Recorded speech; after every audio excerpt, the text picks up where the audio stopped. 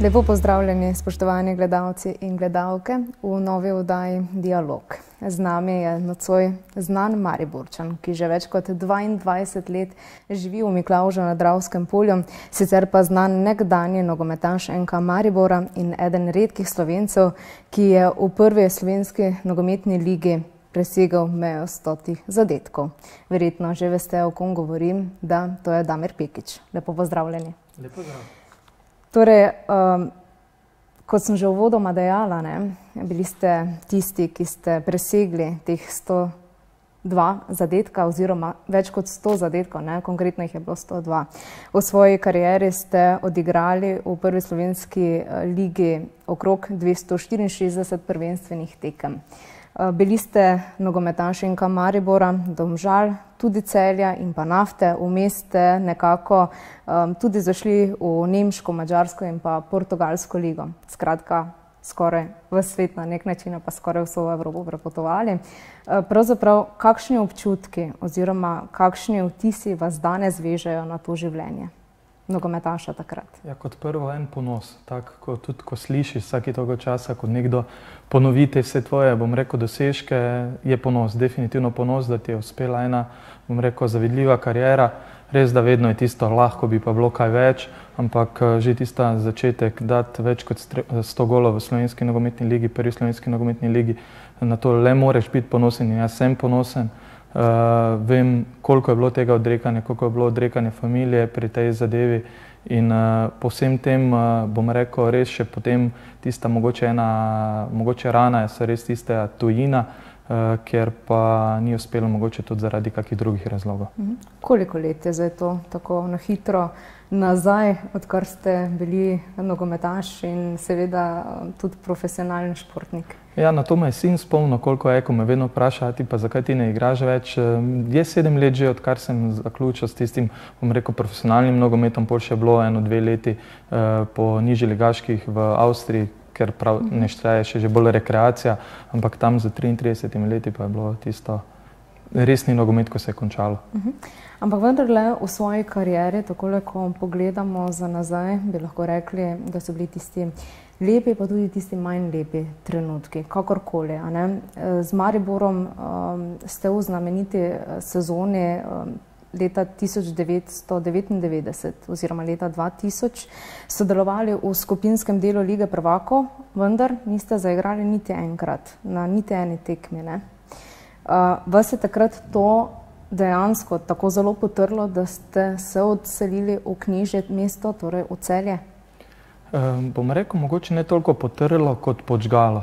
To je bil uh -huh. mogoče uh, tudi tisto neka ena življenjska izkušnja, ko vidiš, da ko mogoče smatraš, da ti je bila narejena krivica, pa da ne obupaš na tisti prvi, pri prvem neuspehu, bom reči, je bilo res veliko razočaranje prisotno. Sploh zdaj, ko vidiš uh, čez čas, ko gledaš nazaj, ti še vedno ni vseeno.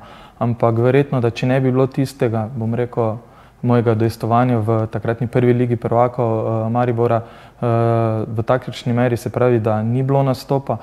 Mogoče ne bi bil taki nogometaš in takšen človek, kot sem zdaj, uh, da je tisto še te dodatno jačalo, dodatno motiviralo uh, pri nekih delih uh, in naredilo močnejšega in boljšega. Ste rabili takrat kakšno oporo, ne vem, družina, prijatelji, kdo vam je takrat?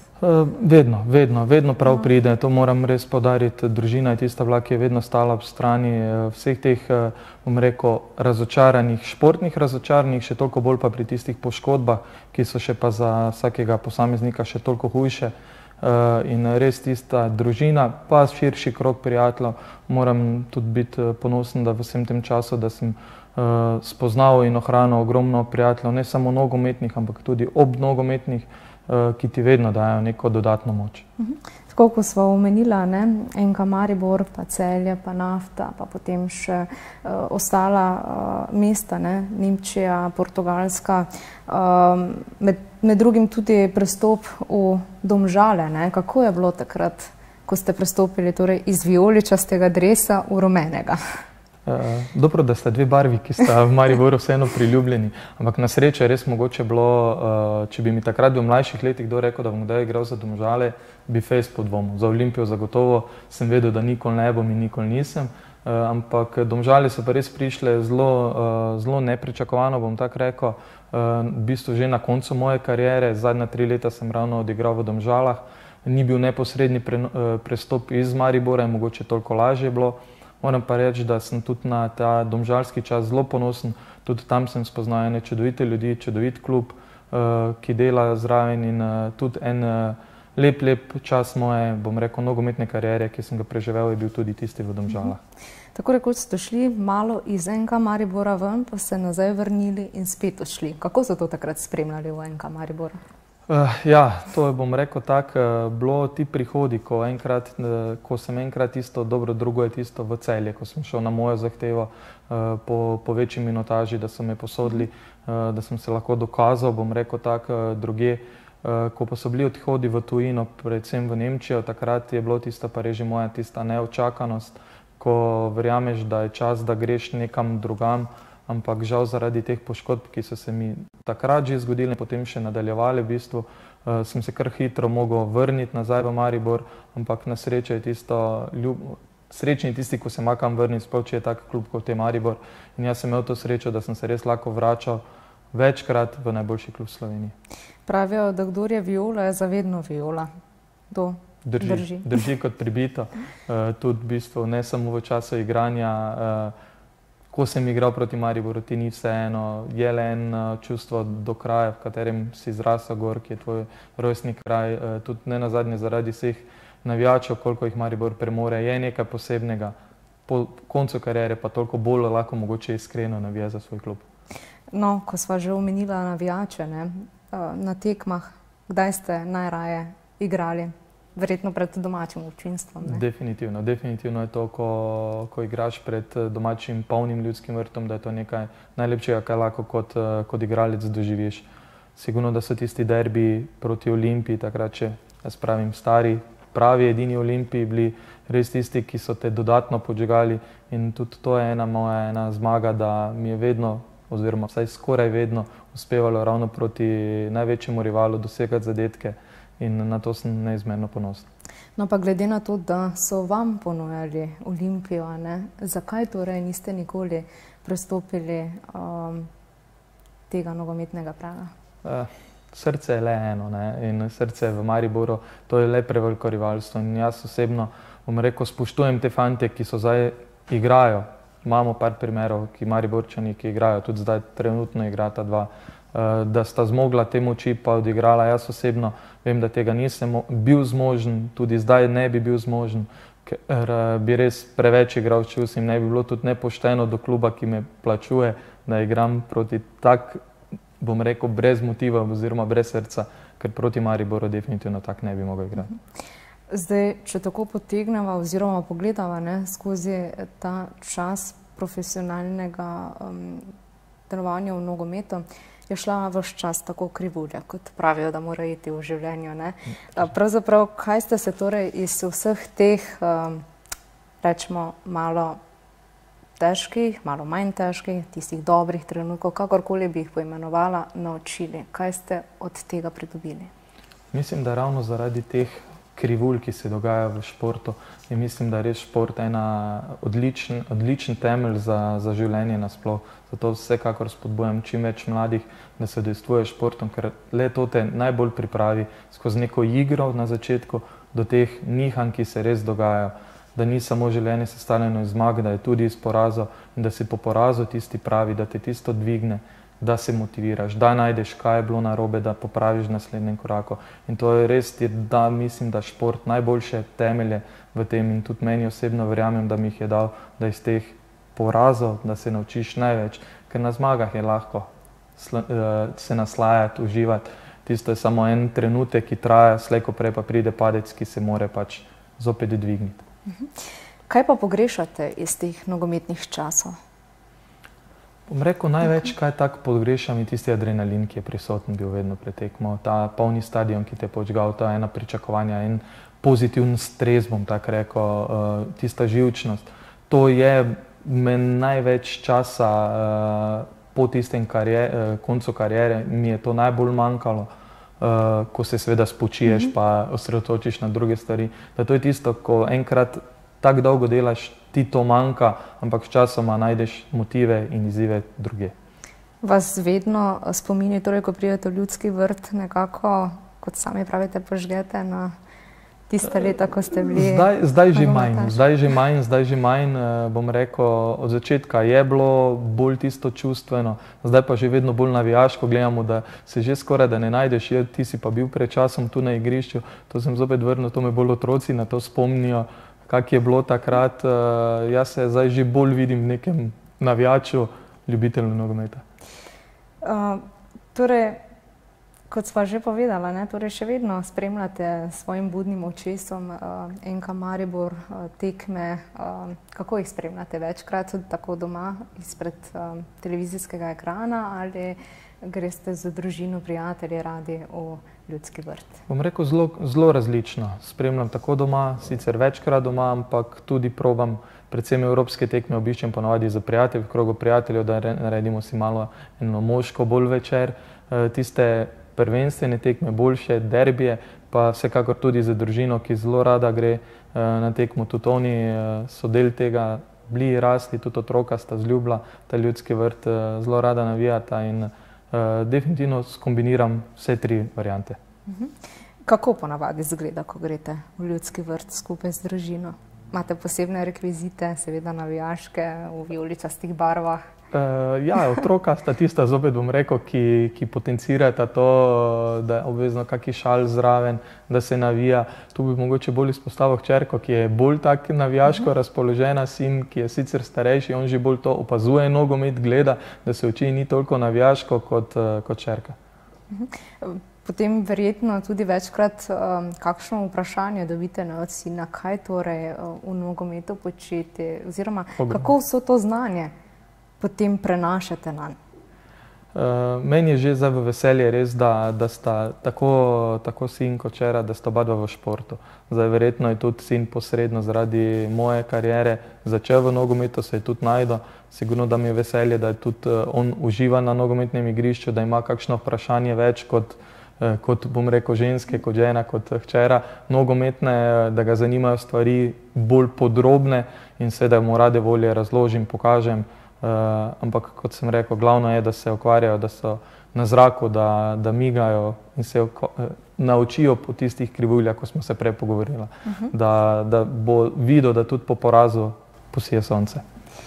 Um, glede na to, da ste bili vodja nogometne eh, šole Miklauš in pa tudi trener Um, imeli ste torej podmladek, trenirali ste jih, prenašali to svoje znanje na nje. Um, je bilo kdaj, da ste jim dali kakšno vzgojno, morda kakšen nasvet, morda kakšno tisto spodbudno besedo, ki ste jo kdaj morda pri sebi potrebovali, pa je niste imeli? Ja, definitivno, da vidiš tisto, kaj tebi manjkalo. To so pa tiste izkušnje, recimo, ko imaš kot igralec kaj ti je takrat manjkalo, kaj, kaj je manjkala tista mogoče kdaj topla beseda trenerja, kdaj mogoče tudi kakšna bolj, da ti jo je napel. Uh, seveda probaš to zopet dati naprej otrokom, moramo pa se zavedati, da vsak otrok je vsak posameznik, ni nekega univerzalnega merila, da bi zdaj veljalo, ja, pa je strok trener, ta pa je uh, bolj mili trener.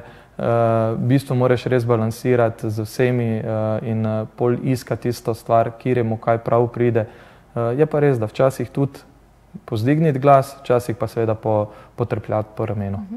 Kot trener moraš biti verjetno discipliniran, da lahko to disciplino prenašaš na uh, mlade, um, konec koncev tudi vzgojitelj, učitelj, kako je biti v teh vlogah?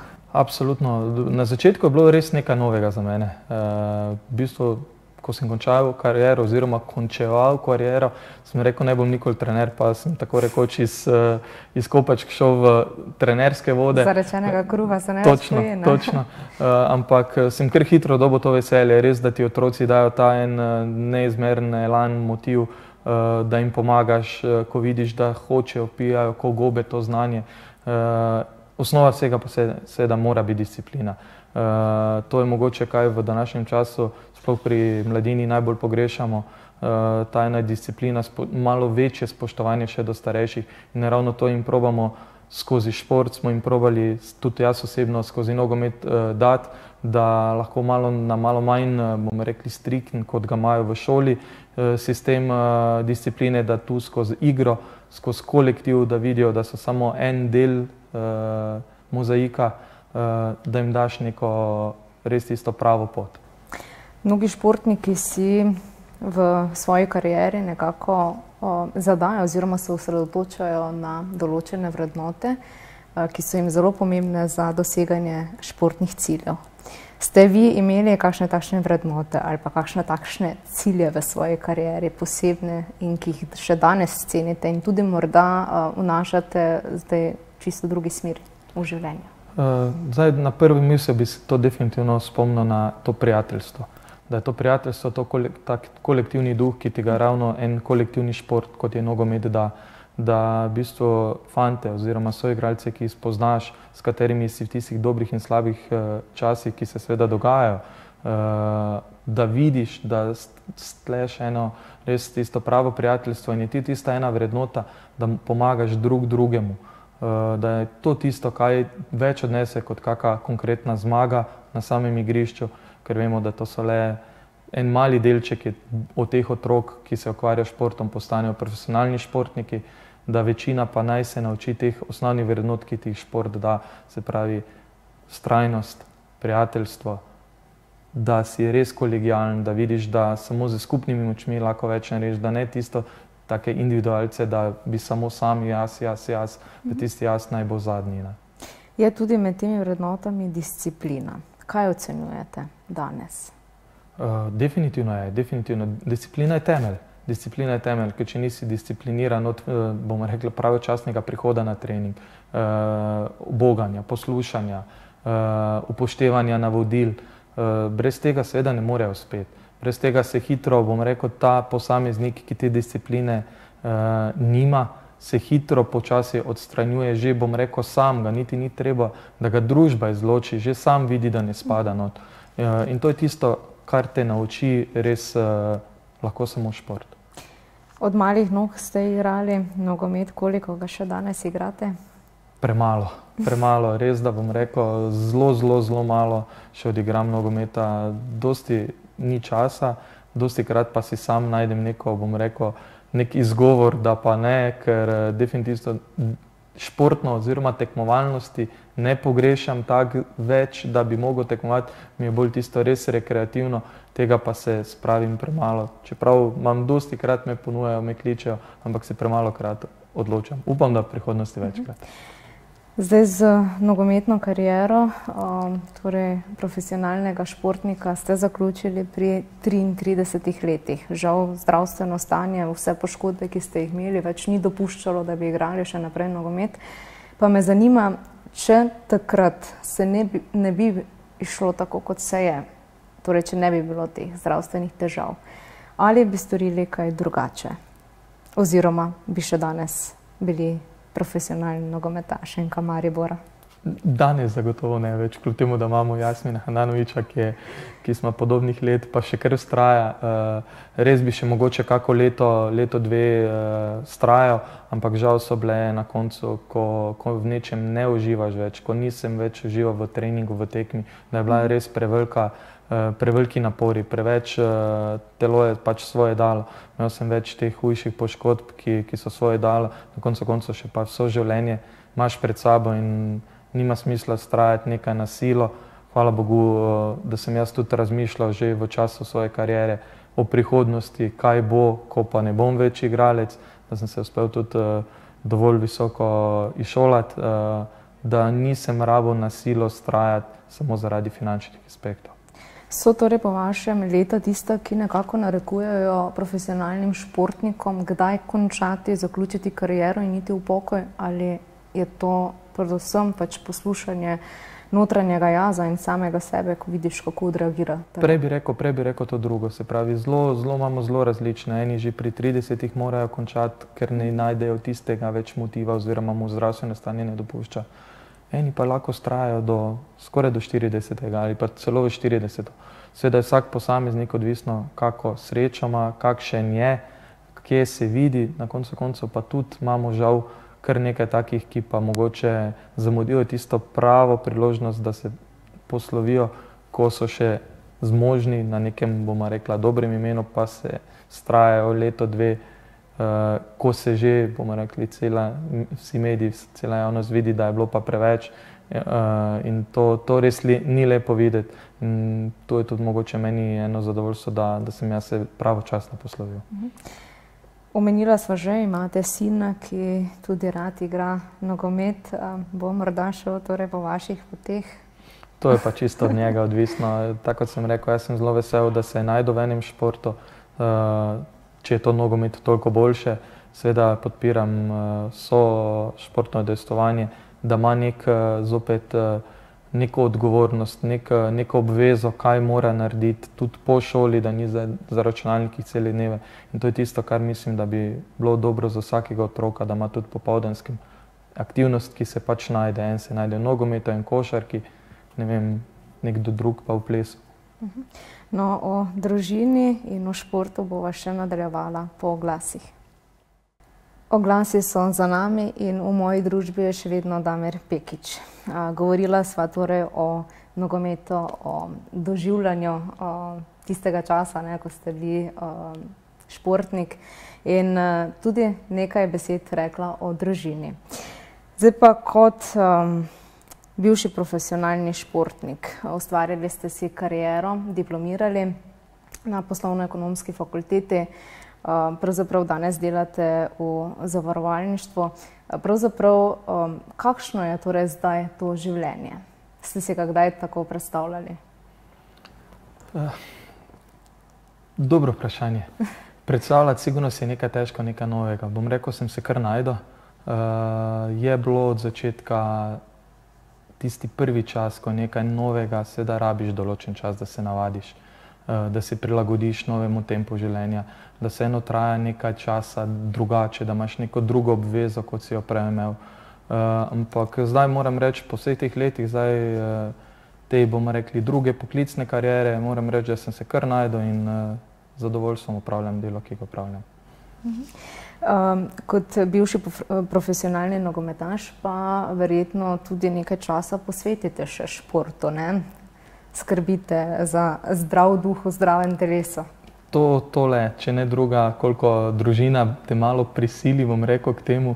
Uh, žena se je svoj čas malo hecala in rekla, ne morem verjeti, kako je tebe težko spraviti nekaj narediti zdaj uh, za sebe, tako rekreativnega, ampak ja, se, vsekakor opravimo kakšne izlete. Uh, Ne na zadnje, vsak popoldan smo skoraj na igrišču, že zaradi otrok, prej, ko sem bil tudi eh, vodja in trener, si tako rekoč eh, bil cel dan na igrišču. Uh, je pa res, da, da, da zdaj imam več časa za te športe, ki jih prej nisem toliko v sami poklicni karieri imel, ker rad igram razno razne športe, predvsem tenis. In to je tisti, mogoče zdaj, rekreacija oziroma užitek, v katerem se najbolj izpopolnjuješ. Kaj pa tek? Ta je zelo popularen in ne na zadnje smo vas videli tudi na mestnem teku v Mariboru. To je še enkrat en uh, kruh, katerega sem tistega zarečenega pojedel. Uh, ko sem govoril, da ne bom nikoli tako hodil tekat, uh, ampak uh, zopet uh, so bili tisto, predvsem žena tista, ki je pobudo dala, da pa naj enkrat družbo delam, ker ona je bolj tista, ki večkrat hodi na te teke in uh, glede na to, da je bil to res mariborski tek, da je bil za dober namen, pa sem rekel, zakaj pa ne. In na koncu moram reči, da mi niti malo ni žal, sem zelo živo, zelo lepa proga v, skozi mesto in uh, verjetno ni bilo zadnjič. Mhm. Kako ponavadi tako potekajo vem, družinski popodnevi, nedeljski ali pa nasploh vikend, eh, ko si vzamete čas, eh, za koliko ga imate? Uh, Teden, bom rekel, je kar izpopolnjen, že zaradi teh vseh obveznosti, ki imata otroka, da smo bolj, eh, bolj taksi služba, mm. enega na trening, drugega na trening. Eh, ob vikendih pa je res tisti čas, ki ga lahko preživimo pol res skupaj. Dosti zdaj v dobrem, lepem vremenu opravimo na kolesu. Na zadnje tudi psa smo si nabavili, da smo si še dodatno neko obvezo dali in pol z, res preživimo kar se da časa v naravi če se pa le da, pa seveda tudi z širšim krogom družine in tudi z prijatelji. Kaj vam v življenju tako največ pomeni? Eh, Če mu dajete prednost, eh, je to družina, šport, delo ali karijera? Ne, definitivno je družina na prvem mestu in vedno bo družina na prvem mestu. Uh, normalno pa, da družina, ki je že pripravljena bila uh, in spoznala to, da če, če hoče družina lepo funkcionirati, so tudi potrebna določena odrekanja. To predvsem mislim pri tistem delu, uh, pri družbi, ampak če se človek zna zorganizirati, če ve tiste prioritete oziroma meje, do kam pa se lahko gre z neko stvarjo, mislim, da je dovolj časa za vse, tako za družino, tako za delo, tako za šport. Uh, ampak vse je stvar nek postavljanja nekih mej. Zdaj, seveda, predali ste se svoji poklicni karieri, ki jo trenutno opravljate.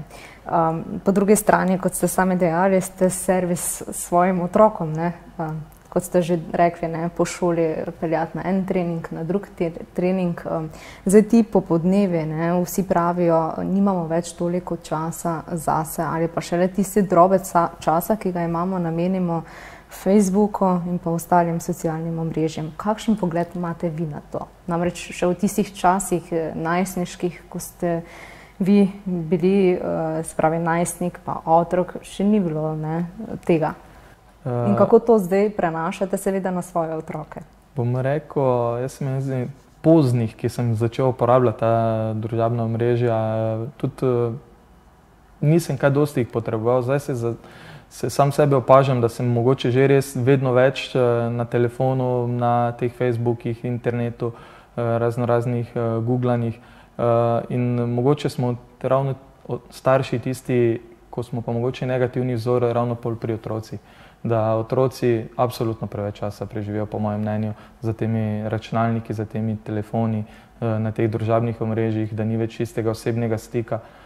In starši moramo prvi oziroma odrasle osebe pokazati, da pa res naj bo to res ena stvar, vsaj v popovdenskem času, ki gre na stran. Tudi sam pri sebi se zavedam, da je to en zdaj mogoče eh, izziv, ki ga moram tudi narediti, eh, da probam res telefon čim bolj eh, odložiti eh, v popovdenskem času, da se res, če je le prosti čas, posvetiš lahko družini, pa najdeš čas eh, v kasnejšem terminu, da opraviš tiste stvari, ki pač moraš. Mhm. Do nedavnega ste bili vodja nogometne šole in pa trener pri NK Miklauš. Um, zdaj niste več. Zakaj? Uh, bom rekel, predvsem zaradi enega nasičenja je bilo. Preveč je bilo, preveč je bilo obvez, uh, vedno več se je nabiralo določenih obvez. Uh, nogomet v Miklaužu zelo raste. Ogromno, ogromno otrok je konkretno v nogometnem klubu Miklaoš, potem še imamo nogometni klub Dobravce v občini, kjer ravno tako dela in vidi se, da je to res v tistem popoldenskem času, potem ti res časa zmanjka za svoje prostočasne aktivnosti. Mm. Eh, in to mi je zdaj po tej karieri, ko sem malo po malo doživel oziroma ugotovil, da pa res preveč časa preživim tam, mi zmanjka za določene druge stvari, sem se zopet počutil kot v času karijere, ko nisi vedel, kdaj pa lahko kam greš, kak vikend uh, s prijatelji, na kak izlet, uh, ne vem, na morje za prvi maj. Uh, vse to je bil tisti nogomet in to je bil mogoče poglavitni razlog, da, da, da sem se zdaj uh, omaknil. Vsekakor pa še vedno sem na voljo ljudem, ki še vedno upravljajo delo tam za nasveti oziroma pomagam v manjši obliki. Mhm. Kako pa gledate nasploh eh, na pogoje, ki jih imajo, eh, predvsem kar se tiče treningov nogometa? Ne? Teh je kar nekaj društev, kot ste sami dejali, ne? Eh, od Maribora, Miklauža, Rogoza, Hoče. Zdaj ne na zadnje so dobili v Rogozi tudi eno multisport areno, kjer bodo lahko še kvalitetne vršili svoje treninge tudi v zimskem času. Kako gledate na vso to? Infrastrukturo, ki jo nudijo, in pa na koncu koncev tudi na pogoje, ki jih imajo, bi morda vi kaj spremenili. To bi res bila ena zanimiva primerjava. Če primerjam v času, kakem sem jaz mhm. odraščal, kje sem jaz treniral, je zdaj dan pa noč. Je nenormalno dobri pogoji, vse možnosti, eh, tudi notranjih treningov, tudi že umetnih trav, dosti več travnatih površin, ki so kar kvalitetne. Eh, v naših časih se da tega ni bilo. Pa je bilo tudi toliko otrok eh, v športu, da se razumemo. Uh, je pa res, da vedno ciljaš po boljšemu, vedno več, vedno več. Zakaj pa ne? So še rezerve, so še določene rezerve, kje kar izboljšati. Uh, zdaj vedno več uh, društev proba uh, si urediti te umetne trave, ker je vseeno lažje za zdrževanje, ker vemo, da sveda, vse se začne pa konča pri denarju in težko je vse skupaj to sfinancirati, uh, če ni nekih uh, dolgoročnih prilivov. Uh, ampak vseeno mislim, da otroci v današnjem času, tako v nogometu kot v ostalih društvih, imajo seveda zelo dobre pogoje, tudi dobro vodeni in uh, imajo kje preživeti svoj čas. Se vam zdi, da smo iz tega vedika tudi že malenkost razvajeni, da želimo imeti res vse najboljše, top na visoki ravni? Uh, ja, smo, ampak po eni strani bi rekel, da prav, da smo. Zakaj bi se zadovoljili z malim? Uh, zakaj ne bi imeli boljšega, zakaj ne bi pa res mogoče imela vsaka vas eno travnato površino, ki bi bila lepa. Je pa res, da so tudi uh, drugi pomembni zadeve, da se moramo zavedati, da ne more res imeti vsaka vas svojega nogometnega kluba, svojega igrišča, ne vem koliko otrok, ne vem kakšne ekipe, da pač je treba biti tudi uh, realen v, na teh področjih, uh, ampak uh, kjer se pa da, pa ciljati na največ. Od česa mislite, oziroma od koga mislite, da je tu tisti največji meri nekako potreben posluh ali pa morda tisti glas, da lahko nekaj dosežeš. Konec koncev tudi vi, ko ste bili trener, ko ste bili vodja nogometne šole, ste se morali zauzemati, da ste uredili prostor, da ste eh, seveda nudili vsem eh, tistim, ki so želeli trenirati in igrati nogomet, tisto, kar je bilo potrebno. Eh, zavedati se moramo, da vseeno društva so in še tudi v prihodnosti bojo bila na plečih teh prostovoljcev, staršev, ki so pripravljeni preživeti svoj čas in pomagati prostovoljno. Moramo se zavedati, da ne bo nikoli tak, take zmožnosti, ne z države, ne z občine, takih financiranja, da bi to pa res lahko imeli neke, bomo rekli, profesionalce na teh mestih. Uh, ja, seveda je vedno neka rezerva, vsaka občina mogoče bi lahko dala malo več. Seveda, vsak, tudi država bi lahko dala občini malo več, pol bi tudi občina dala lahko malo več naprej. Uh, ampak vemo, vse te, uh, te sredstva so zelo omejena uh, in uh, težko jih je razdeliti res na vsa društva, koliko jih je.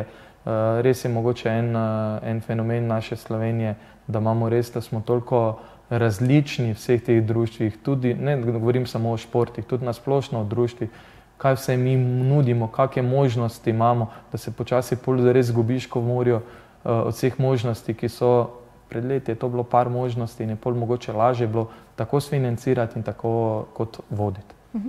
Glede na to, da ste imeli to možnost in da ste eh, bili tudi v ligah eh, v, v Evropi, da nima Portugalska, Nemška, Mačarska, kaj ste tam pridobili takrat? Definitivno spoznaš eh, eno uh, različno okolje, različna razmišljanja ljudi. Ena Nemčija, ki je vemo, organizirana uh, do zadnjega detajla. Uh, bil sem res v drugem nemški ligi, ampak organizacija je bila daleč najboljša, boljša kot v portugalski prvi ligi. To je bilo že proti koncu. Uh, to je bilo ravno po tiste, vmes po tistem mhm. iz Maribora, po, po tisti prvi poškodbi, ko se mi je zgodila. In tam vidiš, ne, kaj pomeni ena organizacija v Nemčiji.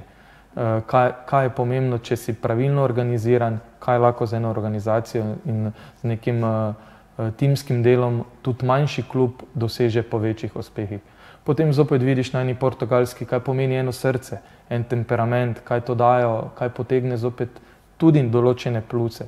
Ena mačarska, ki se je dvigovala, dvigovala v mojem času, bom rekel, res nogometno iz vseh temeljev, takrat predno je začel, uh, začela država vlagati v infrastrukturo, uh, Eh, res z neko pomočjo, ampak eh, zopet vidiš, da se da in iz vsakih teh, bom rekel, okolij, tudi zunanjih, verjamem, da sem dobil neke izkušnje, neka znanja, ki, ki ti pomagajo v razmišljanju in potem mogoče tudi v prihodnosti. Mhm. No, po vseh teh eh, izkušnjah in spoznanjih, ki ste jih pridobili torej zunaj, ko ste igrali za nogometne klube, Kje tako danes vidite vi NK Maribor?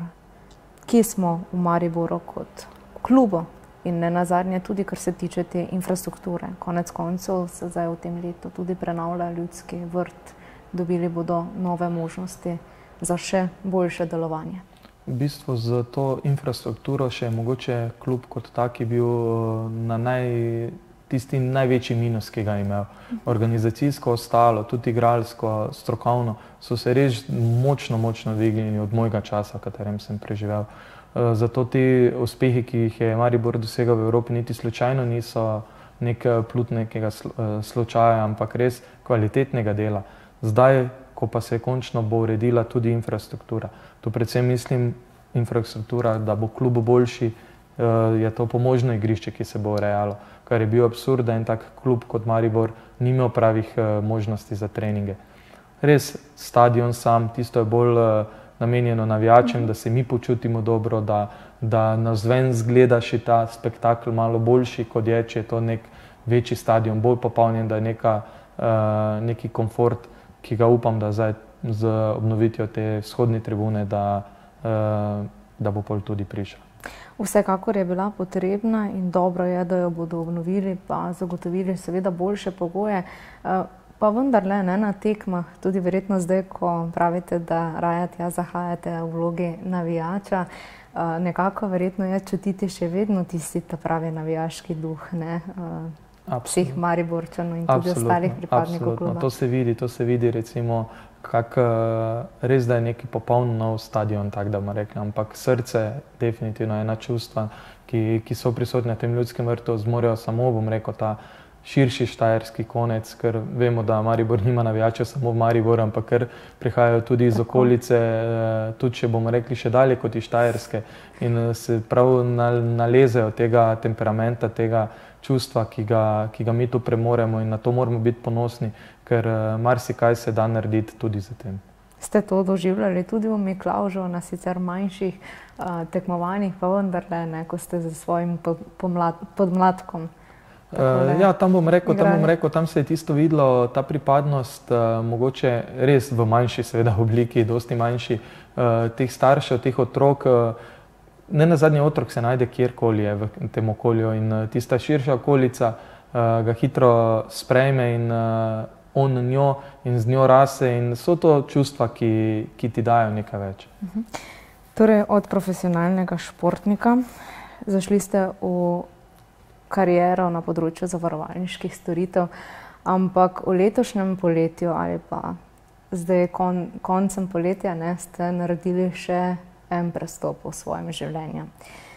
Namreč uh, šli ste tudi uh, na pot lokalne politike pred dnevi oziroma pred tedni oziroma zdaj že ne na začetku septembra ste skupaj z ostalimi člani ustanovili tudi novo o, stranko, imenovano Dialog. Um, pa me zanima pravzaprav, zakaj ta odločitev, da se podajate tudi na parket politiko? Uh, ja, je kar bila, bom rekel, na prvo misel uh, presenetljiva, po drugi strani pa tudi ne. Uh, tako kot smo na začetku rekli, za 22 let sem že v Miklaužu, uh, v bistvu rasel sem zdaj za tem lokalnim okoljem, vemo, da občina je bila svoja. Uh, vidiš stvari, uh, katere dobro funkcionirajo, katere ti mogoče pa so te vedno motile. Jaz sem vedno tistega misla, uh, mislil sem vedno tako, ne govori tam samo, kaj bi moglo biti, pa bo, daj, če imaš možnost, pa naredi to. Eh, in ko so prišli zdaj to poletje res eh, do mene ljudje eh, z izkušnjami v lokalnem okolju, konkretno v Miklaužu, z, z idejo, da ustanovimo svojo stranko, da me predlagajo tudi na koncu koncev za, da, za župana, sem po enem pogovoru z njimi, s to skupino, videl, da mislijo resno da imajo pripravljene dobre zadeve, da razmišljajo prav, da razmišljamo podobno. Uh, in uh, to so bili tisti razlogi, zakaj pa ne narediti, če imaš možnost nekaj spremeniti, mislim, da je prav pol, da jo proba spremeniti, ne samo govoriti, kaj bi bilo treba. Uh mhm. -huh. Govoriva o stranki Dialog za napredek, že nekako ime samo pove. Ne, da si želite verjetno nekega povezovanja, um, dobrih dialogov, ki bodo seveda uh, šli po poti do nekih uh, vidnih rezultatov. Drži. Drži. Drži. Ravno, ravno že, ko smo se začeli pogovarjati, uh, ko sem vprašal po imenu, ko je bilo dialog za napredek, če mislimo to, kaj govori ime, potem me definitivno zanima. Se pravi, dialog, dialog pomeni, da se pogovarjaš s čim večjim uh, krogom ljudi, ne samo v svoji skupini, ampak tudi širše napredek, se pravi, da boš s tem dialogom ciljev na napredek občine in ravno to so tiste istočnice, katere zagovarjamo in bomo zagovarjali in to je tisto, kar me je pritegnilo in verjamem, da smo zmožni narediti v Miklaužu. Preden ste se lotili oziroma preden ste torej štartali v lokalni politiki, pravzaprav kakšni so bili ti pogledi, ko ste takole spremljali občino, razvoj, kaj ste videli, kaj vas je morda kdaj zmotilo ali pa tudi na nek način privabilo, se vam je zdelo dobro, da ste rekli, da je tudi to na nek način razlog za to, da seveda konec koncev boste tudi kandidirali za župana, ampak bova o tem kasneje. Ja, že sama misel, da v bistvu mogoče zgodba, kak sem jaz pristal v Miklaužu. Kot prvo so starši kupili hišo v Miklaužu, smo se preselili tja, ko sem pa iskal parcelo oziroma, da si zgradim svojo hišo nekje, mi je bil prva misel samo v Miklaužu. Sem se toliko zaljubil v to okolje, tudi samo občino, da se je videlo, da ima ene osnove zelo dobro narejene. Da smo občina, ki ima, ki je komunalno urejena, ki ima razsvetljavo dobro urejeno, nenazadnje novo, novo šolo, športni objekti, da je dovolj mala, prisrčna, in zopet po drugi strani je dovolj velika, da, da ti omogoča marsikaj. In to je bilo tisto, kar me je odločilo, da v bistvu, da si tudi v Miklaužu ustvarim svoje življenje, tudi po tistem, ko bom rekel, ko sem bil prisiljen s starši priti v Miklauž. In to so bili vse tisti pozitivni zadeve, ko vidimo, da občina sigurno, da je na zelo dobrih temeljih. Je pa res, da pa ko dalj časa živiš, pol pa vidiš stvari, ki pa zakaj pa ne bi kaj več. Mogoče tiste ene dodane vrednosti vedno, da se izpolnijo tudi v naši občini, da dobimo kakšno dodano vrednost, ki je druge občine imajo, mi pa ne, da je bilo treba iskati vse, da zadržimo mlade čim bolj dolgo, da se tudi ostanejo, bomo rekli, po tistem odraščanju v Miklaužu, ne da bežijo potem takoj v Maribor, da zakaj jim ne bi omogočili mi kake zadeve v Miklaužu. In ravno na teh dodanih vrednostih mislim, da se bo največ delalo v Miklaužu. No, v nadaljevanju pa še podrobnosti, sedaj pa kratek premor. Še smo z vami v oddaji Dialog in še vedno je z nami Damir Pekič, ki je tudi najavil oziroma potrdil kandidaturo za župana občine Miklauž na Dravskem polju. Kot sva že pred oglasi dejala, ne, ste izrazili tiste cilje oziroma tiste stvari, ki ste jih videli, pa bi jih želeli premakniti, a ne, da ste se podali torej na pot lokalne politike. Pravzaprav, kaj je pa botrovalo temu, da ste se odločili in dejansko napovedali svojo kandidaturo za župana? Predvsem bom rekel ekipa. Ekipa, ki stoji, ki stoji za to mojo kandidaturo, je tista, ki je, ki je prevagala, da sem, da sem se odločil, da, da grem v ta, v to novo zgodbo, seveda za mene popolnoma novo zgodbo. Zavedam se vseh svojih pozitivnih stvari, kar sva se že pogovarjala, izkušenj, ki jih imam, zavedam se pa svojih minusov. Te minuse pa ravno nameravam oziroma bo izničila moja ekipa, ki bo stala za tem in ona je poglavitni razlog, da sem se odločil. Verjamem, da z njihovo pomočjo, skupno pomočjo, da, da lahko pridemo do tega, da bojo občani zadovoljni, da bojo občani uslišani, da se bo res s tem enim dialogom, iskanjem kompromisov zadovoljilo vse štiri občine, vse štiri kraje v naši občini. To je ena tudi izmed naših poglavitnih ciljev oziroma motivov, da te štiri, naše štiri kraje, se pravi Miklavž, Dobrovce, Skokje in Dravski dvor, čim bolj združimo, ker po našem prepričanju je ravno tu mogoče prihaja do enih nepotrebnih nesoglasij, enih zavidanj med kraji. Tu bi radi naredili, da res, da bomo ponosni vsi na celotno občino. Se vam torej zdi, da so do zdaj vsi ti krajani na neki način vsak res locirani na svojem kraju? Ja, čisto moje eno prepričanje je res bilo, vsak se je preveč brigal samo za svoj, svoj tisti, bomo rekli, bližnji okoliš. Ni gledal malo širše. Všeč mi je že zdaj, da so vsaj pri teh aktualnega župana teh pobudah pri razno raznih in pri letališču in pri Magni, da, da so le vse štiri kraji malo bolj aktivne k temu pristopili. Ni važno, koliko ljudi je odkog, važno je, da so vsi od posod. Na zadnje tudi jaz bi rad, da imamo mi kot stranka in jaz osebno podporo za vseh štiri krajev.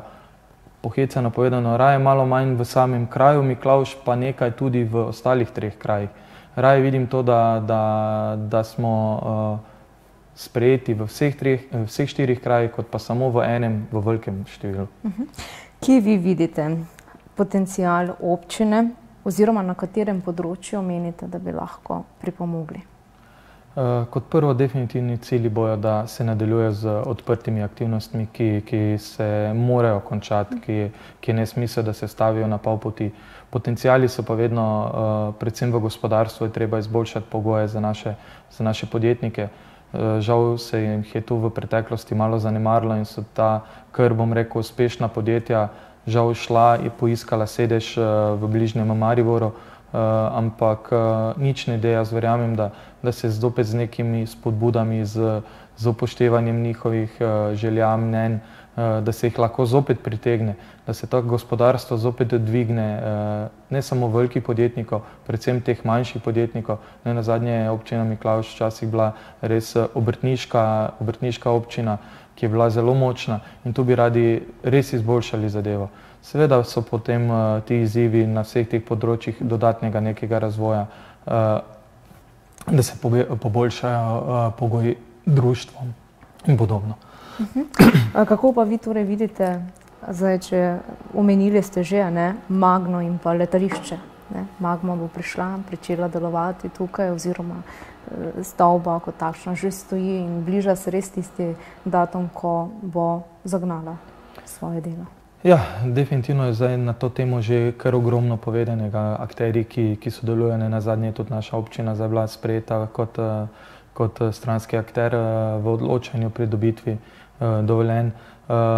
Sigurno, da se zagovarjamo vsakršno možnost dodatnih zaposlitev naših, ne samo naših občanov, naših državljanov, bomo rekli, uh, kar Magna sigurno, da bo omogočala, ampak ne na plečih uh, slabšega življenja, slabše kakovosti življenja. In jaz verjamem, da se bo našla tu ena soglasja, uh, kompromisi, da bo res vse v mejah nekih okoljskih normativov, da bo tako Magna uspešno sodelovala, ampak ne, ne, ne na račun zdravja prebivalcev. Torej, v primeru, da postanete župan, kaj boste naredili najprej? Ja, najprej, sigurno bomo za svojo ekipo si čestitali na zdravlji, uh, potem pa takoj zavihali rokave. Definitivno je prvi cilj nadaljevati z projekti, ki so odprti, ki vem, da so žurni, ki jih je treba zaključiti, potem pa seveda zbrati tiste uh, najpomembnejše, nove, na katere bi dali podarek, Eh, in eh, seveda zopet z dialogom, konsenzom občinskega sveta, seveda ne samo po moji glavi, eh, nadaljevati z projekti, ki bomo jih izvršili. Samo še pred koncem, kako vas je pa pri tem um, podpiralo, oziroma kako je to vaša odločitev sprejela vaša družina? Uh, bom rekel, prvo vprašanje žene je bilo, uh, pa si siguren. Uh, ampak, ko ona vidi v mojih očeh, da sem nekaj siguren, da se nekaj odločim, sem trmast, da ja, uh, je sigurno bilo naslednji podarek, da bo podpirala vse, uh, ker verjame, ve moje vrednote, uh, zakaj, za čem stojim, kaj mi je pomembno uh, in z tega stališča uh, verjame, da bom pravi. Torej, pestra jesen vas še čaka, pred vami so seveda še volitve. Do takrat vam želimo vso srečo in s tem tudi zaključujemo nocojšnji dialog. Hvala lepa. Vam, drage gledalke in gledalci, pa hvala, da ste bili z nami. Vidimo se znova prihodnji ponedeljek ob 20. Do takrat pa nasvidenje.